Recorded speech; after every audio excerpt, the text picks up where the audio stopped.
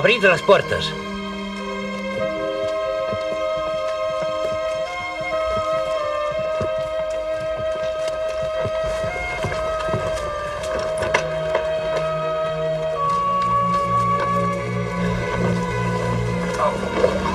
Hola, Lorenzo. ¿Cómo está, tío Pedro? Casi nos conozco. Pedro, hijo. ¿Cómo ha sido el viaje? Cansado, lento. No ha podido ser más deprisa por Teresa.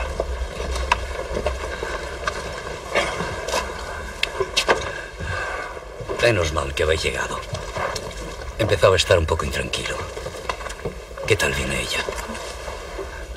Poco bien. Los médicos de Ávila no la entienden. ¿Pero qué es lo que tiene? No sé. Ya hablaremos. Espero que os quedéis más de una noche, Alonso. No, no podrá ser. Tenemos que llegar a Mercedes lo antes posible para que la vea la curandera. Pedro. ¿Cuánto tiempo sin verte, Teresa? Hija mía. Cinco años desde la última vez que viniste. Los he llevado bien por cuenta. Yo también. Era casi una niña, ¿verdad? Y ahora me encuentro con una monja. Medio monja, querrá bien decir. Mire, esta, esta es mi amiga Juana Suárez, compañera de convento. ¿Qué vas a coger frío, hija? Entrad la Juana. Se tiene que acostar. Ya hablaréis luego. Ya sabes, Urraca, arriba en la habitación de la señora, que el señor tenga en su gloria. Pero vendrá a darme conversación, ¿verdad, tío? Anda, anda, entra. Claro que irá.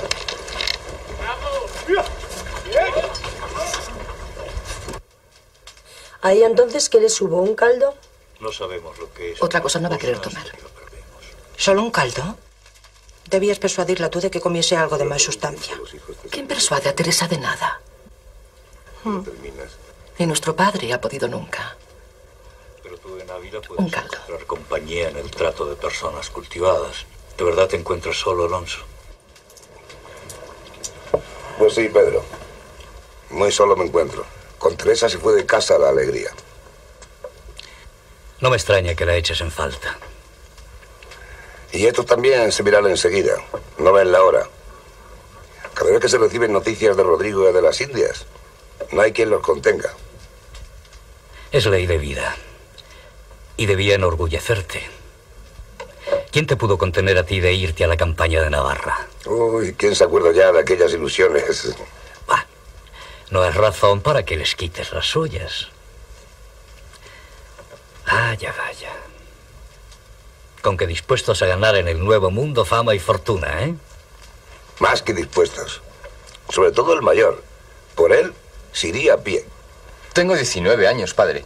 Y dígame qué suerte puede aguardarme aquí. 19. Es verdad. Yo partiré el pan, Urraca. Bien. No me extraña que los jóvenes quieran marcharse. Estas tierras cada vez son menos hospitalarias. Sí, yo también lo comprendo. E incluso les animo, no creas.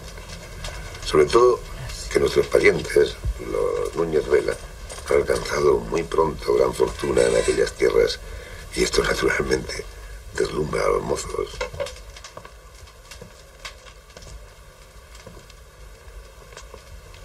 ¿Quieres algo, Martín? ¿Qué te pasa? ¿Qué quieres que me pase? Que estoy cansado. Es hora de que nos retiremos a dormir, digo yo. ¿A dormir ya? Yo no tengo sueño. Venid aquí, hijos, no estéis de pie. ¿Puedo quedarme un rato con ellos, Martín? No, que es muy tarde y mañana nos espera otra jornada de camino. Nos retiramos ya. Pero si todavía no es tarde. Para ella sí. Está cansada. ¿No me has dicho que estás cansada? Sí.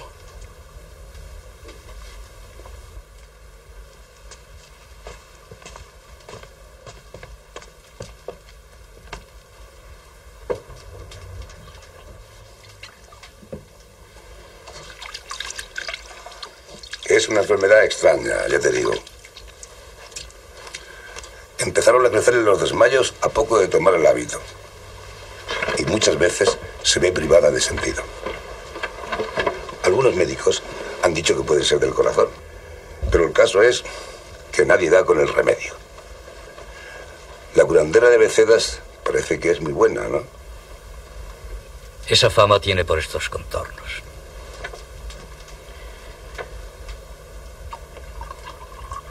¿Y qué opinas de mi decisión? Un poco aventurado me parece a tu edad que te quieras meter fraile Jerónimo. Pero sé que eres como Teresa. Los consejos de nada os sirven. Supongo que lo habrás pensado bien. No es pensarlo. Es sentir necesidad. Algo muy difícil de explicar. Sobre todo a un viejo. No digas eso. No me llevas más que tres años. Sí. Pero estoy muy acabado. Pero, hombre de Dios, no hay que apocarse de ese modo. ¿Tan mal van las cosas? No es tan fácil, como sabes. El dinero cada vez vale menos y todo está fiado al oro de las Indias. Ya. Todas las tierras esquilmadas por la mesta para vender después la lana a Flandes y tener que comprar muy caras las labores que de allí nos devuelven. Ya. Y la peor parte nos toca a los que tenemos tierras. Es verdad. Pero mayores dificultades pasó nuestro padre. A mí ya me faltan fuerzas para enderezar los negocios. Desde aquellos pleitos no levanto cabeza. Sigo pensando que me miran como hijo del toledano. Olvídate ya de eso. La honra de los Cepeda quedó a salvo. Lo que ocurre es que acaso tú te empeñas en aparentar más de lo que puedes. Eso es de familia. Por desgracia.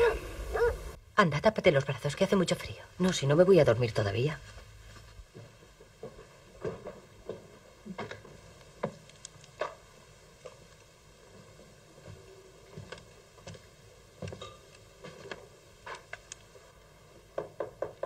Pase.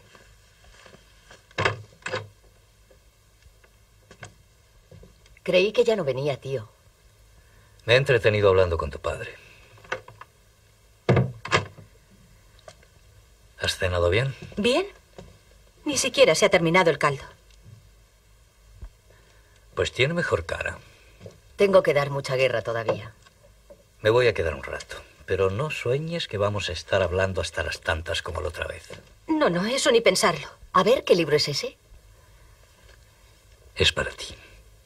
Un recuerdo de tu tío. Cuando estés mejor lo lees. ¿Recuerdas? Hace cinco años. Ay, tío. ¿Sabe lo que fueron para mí las lecturas de entonces? Si pudiera tenerle a mi lado cada vez que me desaliento.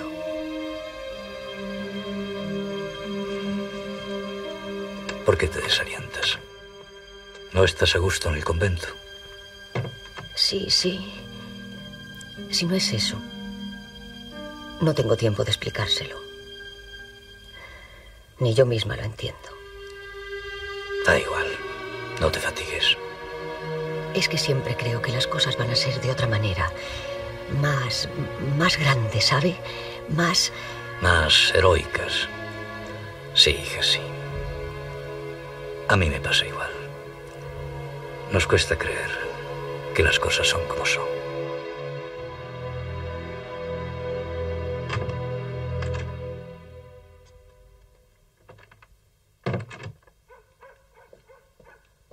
Tío, cuando se vaya con los Jerónimos va a rezar por mí, para que nunca pierda la alegría.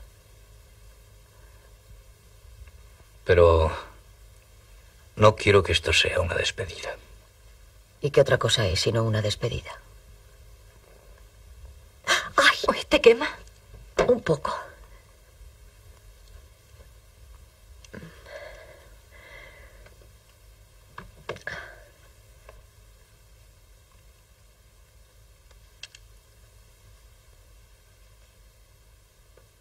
Que Dios te bendiga.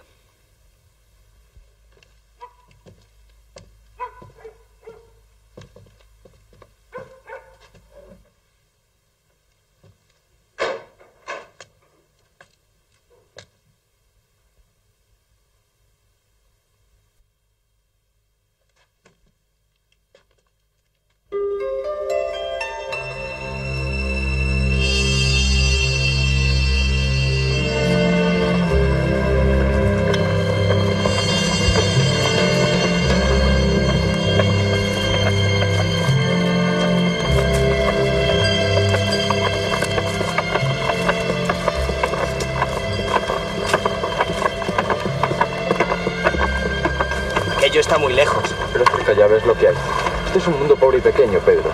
No está aquí lo que yo busco. Aunque volveré.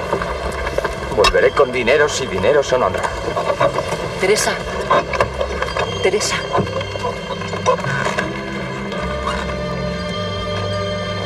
¿Qué tal se encuentra? No se queja, pero tampoco contesta.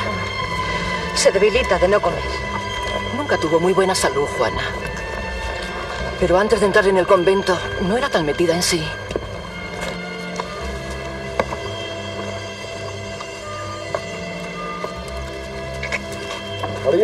No retraséis. Que nos queda mucho camino y nos puede coger la noche. Tu marido parece enfadado.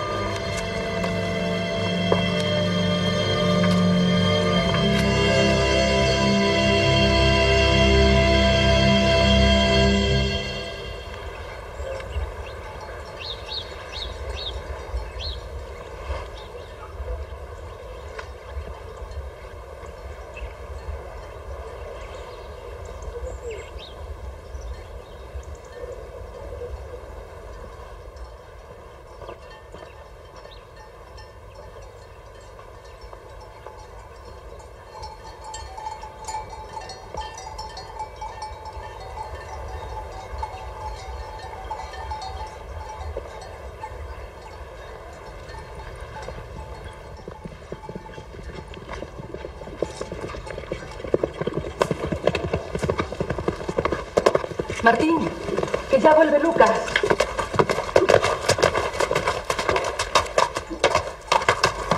Pronto vuelve. ¿Qué te ha dicho? Que no. Que hasta la primavera no atiende. Ya se lo decía yo a vuesa merced. ¿Cómo que no? ¿Pero has hablado con ella? Sí, señor. Con ella en persona. ¿Y qué razón te ha dado? Pues esa. Que ella hasta marzo no empieza las primeras curas. Necesita unas hierbas que ahora no crecen. Pero le has dicho que es un caso urgente. Sí. ¿Y qué? Se encogió de hombros. Gasta pocas palabras. Vaya por Dios. Lo que nos faltaba. No os preocupéis, me puedo volver a Ávila. Eso no. Ya se verá, María. Ya se verá. Lo que diga tu padre. Vamos a consultárselo. Que se vayan ellos. Tú de mi casa no te mueves hasta la primavera. ¿Entendido? La casa es de tu marido, María. Sí, pero tú eres mi hermana. Estás enferma. Y te sienta bien esto. Lo que digáis. Anda, a ver qué deciden.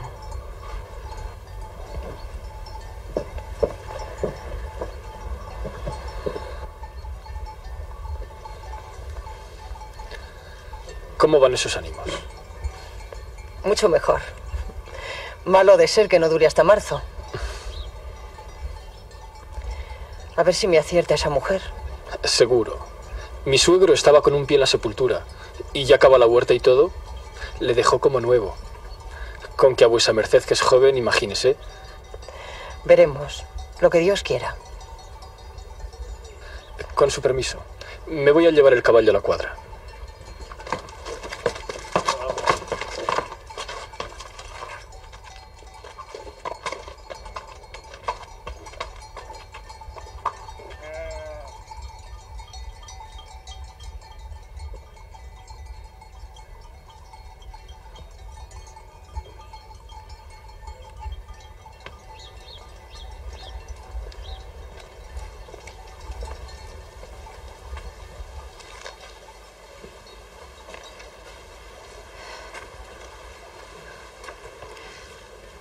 Parece que nos quedamos hasta marzo, ¿sabes? ¿Quién es? Tú y yo con María. Los hombres estaban hablando de volverse a Ávila esta misma tarde. ¿Mi cuñado también? También. Tiene que resolver unos negocios allí. Ya.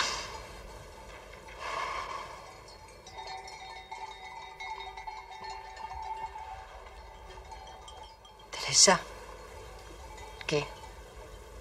cuéntame algo. Enfermedad te ha vuelto muda. No sé por qué me estoy acordando ahora de una historia que mi madre me contó muchas veces. La de Oriana, la hija del rey Lisuarte.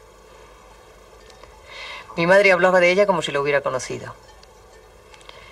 Era tan hermosa que la llamaban la sin par. ¿Sí?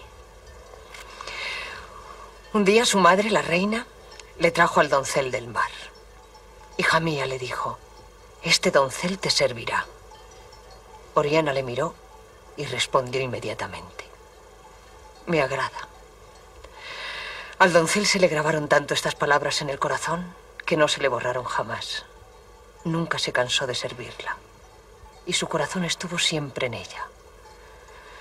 Duró tanto este amor como sus vidas, porque ni una hora dejaron de amarse. Y se amaron para siempre, siempre, jamás. Eternamente. El amor solo vale cuando es para siempre.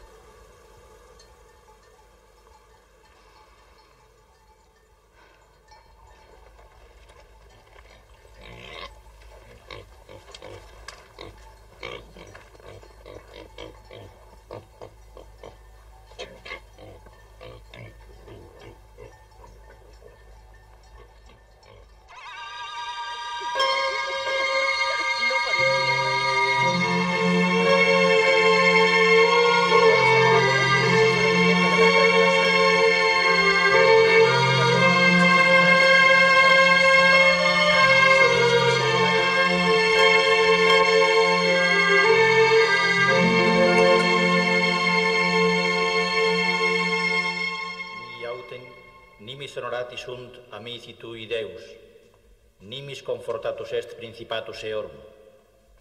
Domine probasti me et cognovisti me, tu cognovisti sessionem meam et resurrectionem meam. Gloria Patri et Filio et Spiritui Sancto, sicut erat in principio et nunc et semper et in saecula saeculorum. Amen. Mi autem nimis honorati sunt amici tui Deus, nimis confortatus est principatus seorum.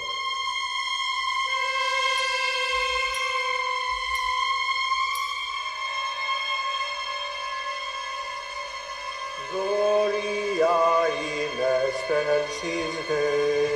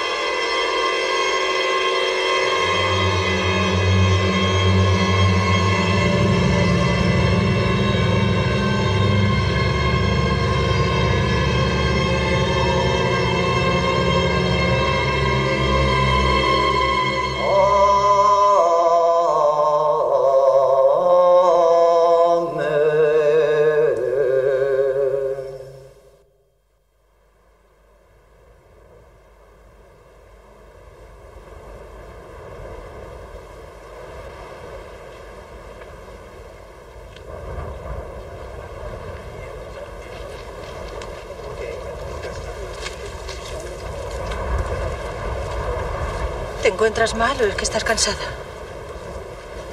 Porque algo te pasa, no me digas que no. No te preocupes por mí, de verdad. Pero ¿cómo quieres que no me preocupe? Acuérdate de lo contenta que venías. ¿No te acuerdas? Algo te ha debido de pasar. Lo quiero saber, soy tu amiga. Perdóname, Juana. No, no puedo contestarte, no sé. Pero estás enfadada conmigo por algo. Ay, qué disparate. Son cosas, cosas que, que, no se pueden explicar, que pasan. Y ya está. ¿Pero qué cosas? No entiendo cómo puedes cambiar así. Yo tampoco, déjalo. No me hagas más preguntas, por favor.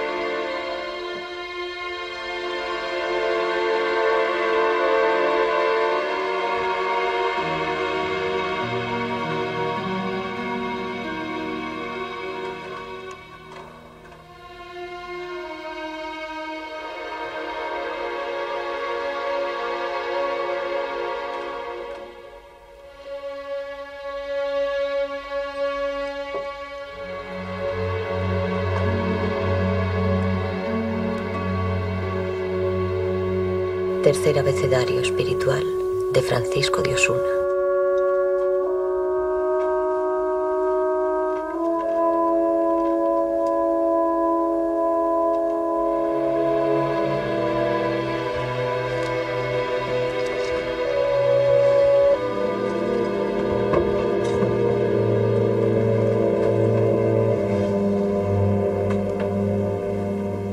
Lo que falta no es el escribir sino el callar y el obrar. Lo que falta no es el escribir o el hablar, sino el callar y el obrar. El hablar distrae y el callar y el obrar recoge y da fuerza al espíritu. Para guardar el espíritu no hay más remedio que padecer y callar, y cerrar los sentidos con uso e inclinación de soledad y olvido de toda criatura y de todos los acaecimientos, aunque se hunda el mundo. De cómo has de guardar el corazón a manera de castillo interior.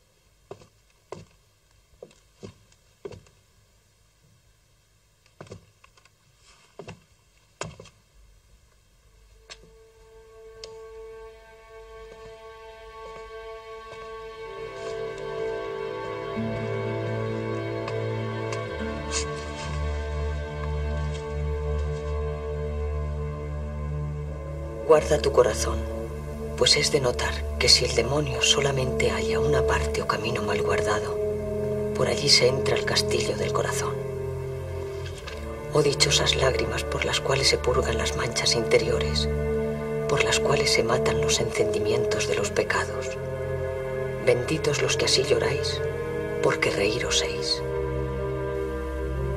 En estas lágrimas conoce, oh alma, a tu esposo, abraza al deseado. Embriágate ahora con el arroyo del deleite. Saca leche del pecho de su consuelo y miel. Estos son maravillosos dones que te dio el esposo. Esto es lágrimas y gemidos. Trae para ti beber en estas lágrimas por medida. Estas lágrimas son para ti pan de día y de noche, y más dulces que la miel y el panal. Teresa, ¿qué haces aquí?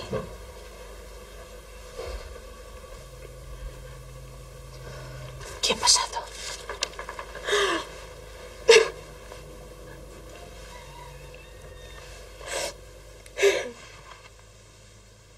Siempre con un libro en la mano.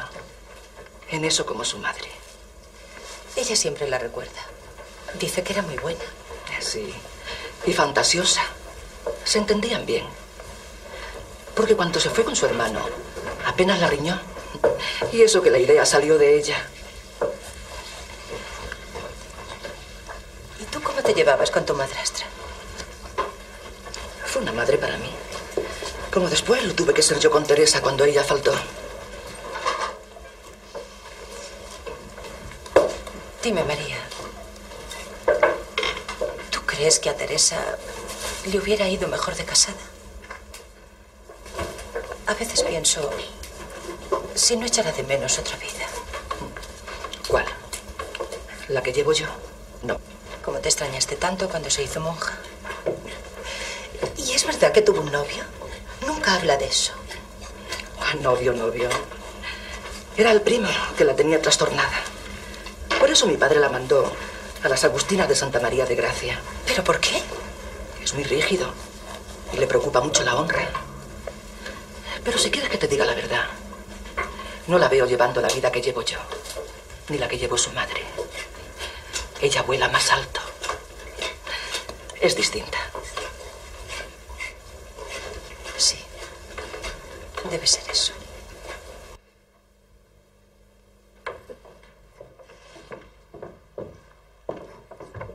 Teresa. Teresa, ¿estás dormida? Teresa. Contesta, por favor, no me asustes. Ay, Dios mío. Ay, Señor. ¿Pero qué te pasa, por Dios? A llamar a tu hermana. No, no. Deja, deja. Qué fría estás. ¿Qué sientes? Has estado leyendo. ¿No te sienta bien leer ese libro? Déjalo, por favor. Déjalo.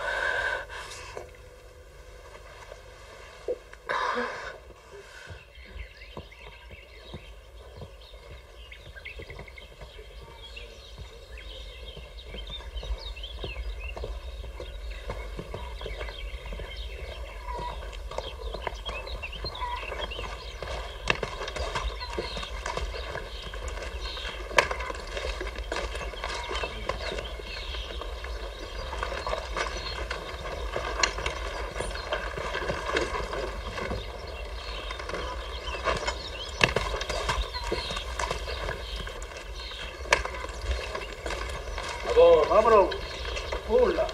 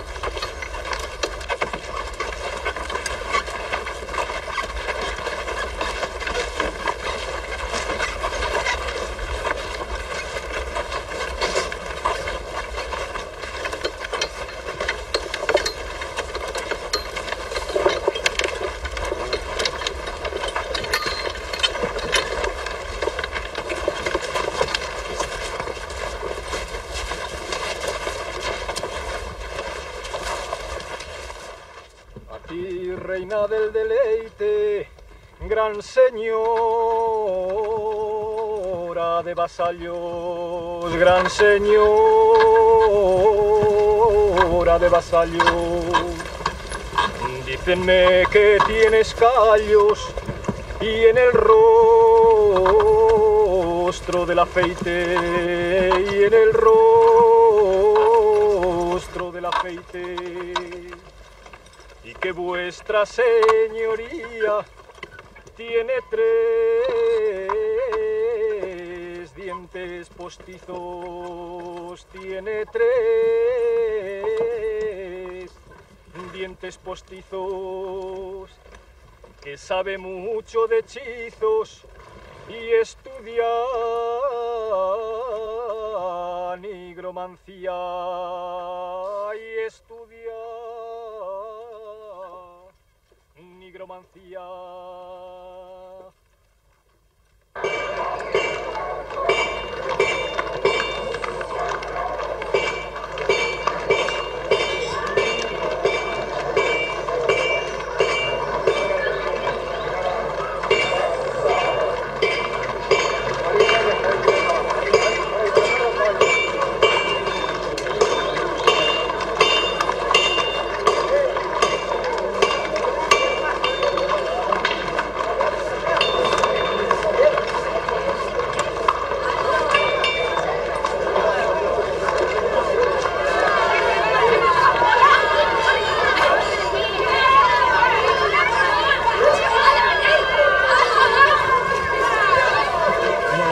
Quítalos de ahí. Dejar pasar. ¿Qué tal, hija? ¿Cansada? Procuraremos que se encuentre aquí lo mejor posible.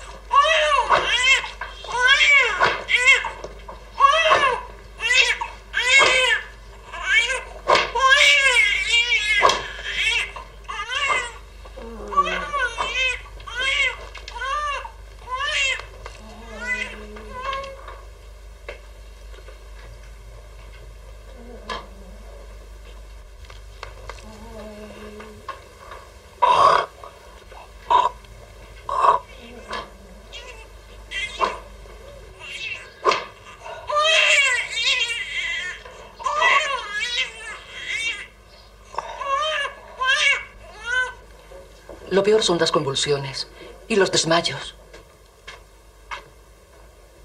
¿Y que tiene perdidas las ganas de comer?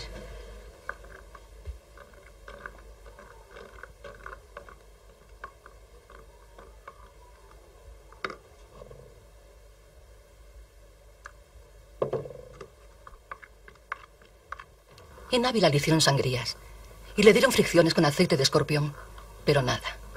¿Y los dolores dónde los tiene? En el corazón. Dice que siente como dentelladas en el corazón. El corazón engaña. Es muy mañoso.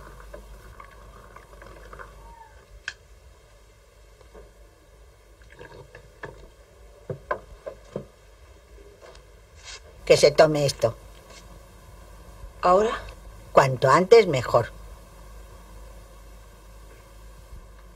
Anda, bébetelo.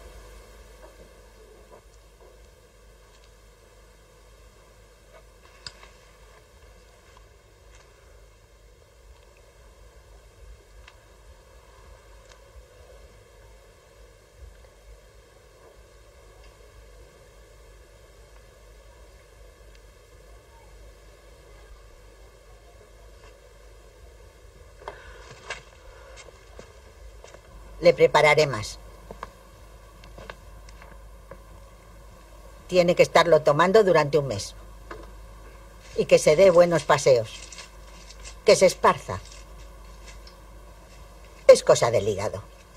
Se pondrá buena. Si no tiene fe en mí, ¿a qué santo este viaje?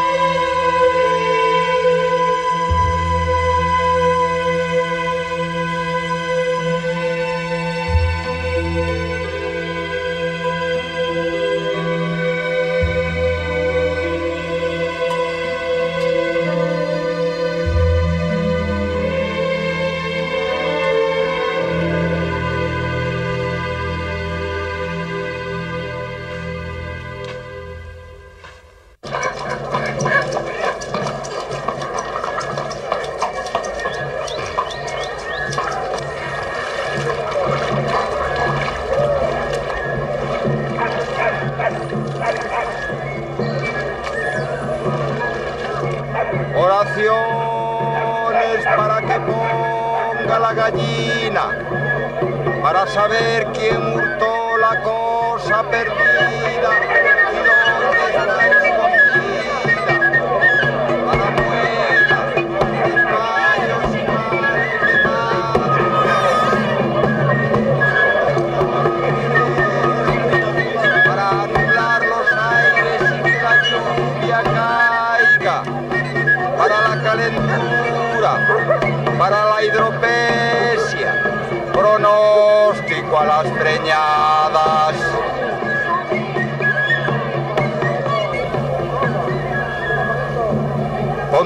Piedra contra el pecho.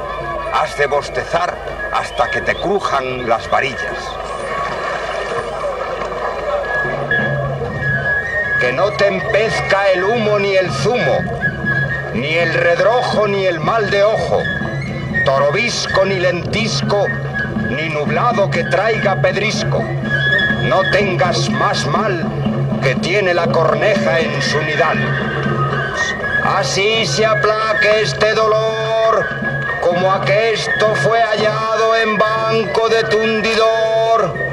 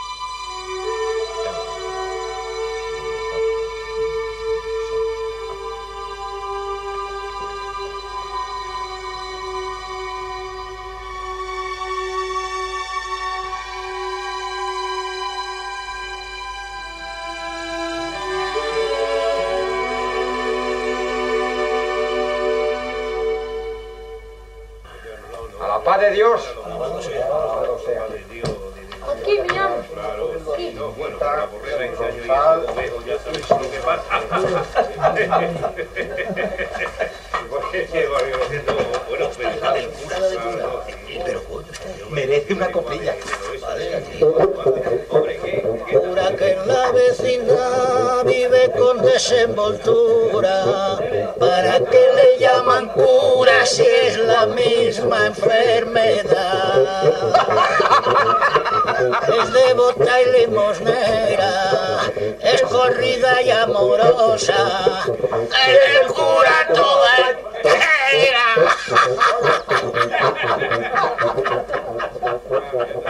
Y si le llamara padre, algún rapaz y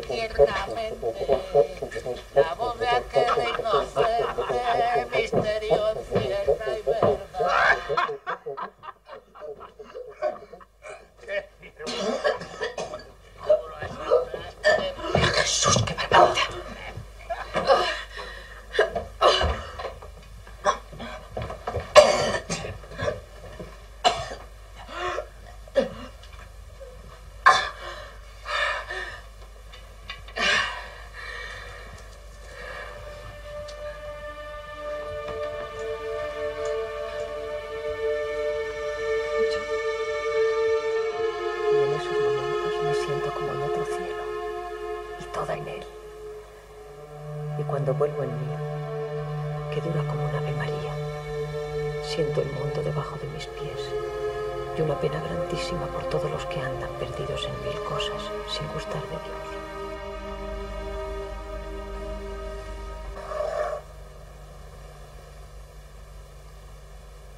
¿Cuántos años tiene vuestra reverencia? 24. ¿Y no le parece que vuela muy alto? He leído en un libro que quien quiere ir a Dios no debe andar a saltos de sapo o como una gallina trabada. Podemos volar como las águilas y ya vendrá Dios a ponernos en el nido cuando nos cansemos como el aguilucho. Pero no está enferma. Ese es otro mal.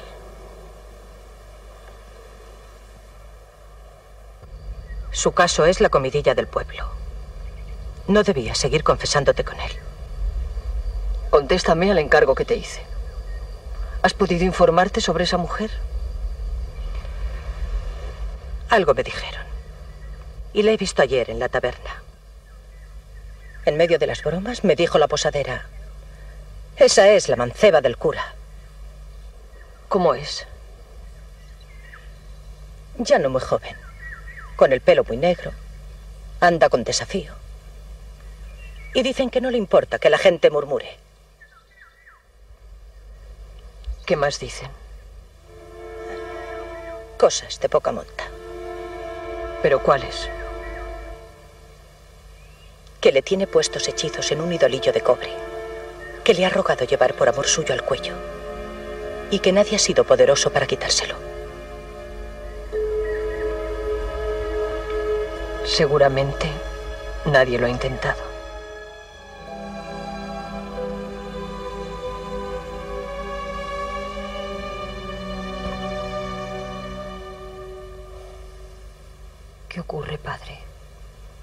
Absolvéis?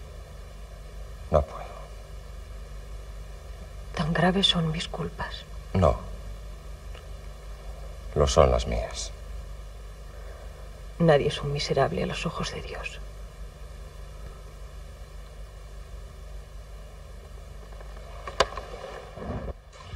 ¿Y a los de vuestra reverencia? Ay, señor, qué desatino. Alzad del suelo. Decidme lo que sea. Apartará de mí si se lo digo. No temáis. No lo haré. Hace siete años que vivo en trato carnal con una mujer que me tiene enajenada la voluntad. Es cosa pública y he perdido la honra. Solo vuestra reverencia, que no lo sabía, ha sido capaz de mirarme como nadie me había mirado nunca. Pero ahora ya ¿Quién os ha dicho que no lo sabía?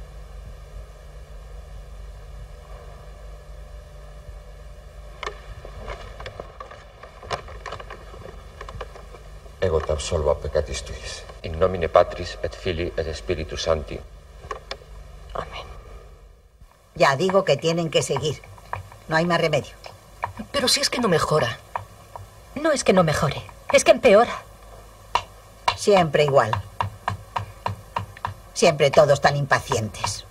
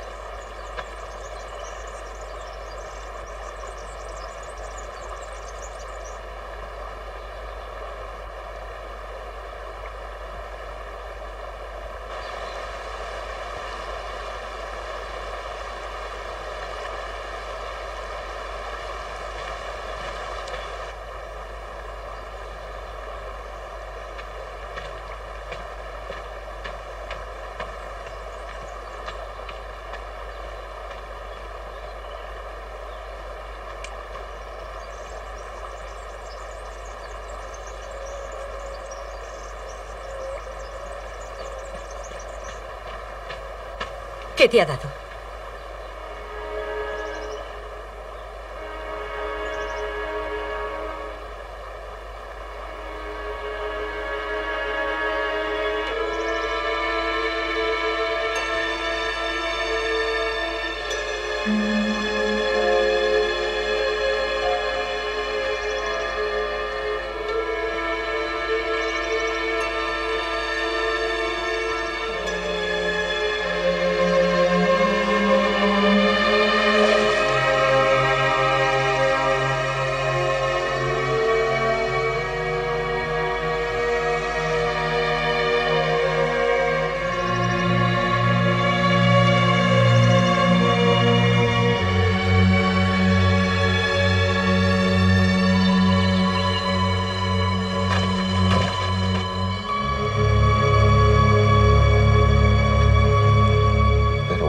De ser mala una afición como la que me une a vuestra reverencia si me trae la luz?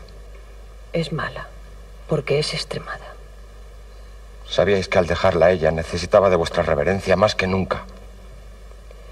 Hemos de salvarnos solos, con la gracia. No hay otro camino. En ese camino solo vuestra reverencia me acompaña. Pues cerradme la puerta. No puedo. No puedo seguir adelante solo. Yo también voy sola. Pero voy con vos, porque vamos al mismo sitio. ¡Teresa!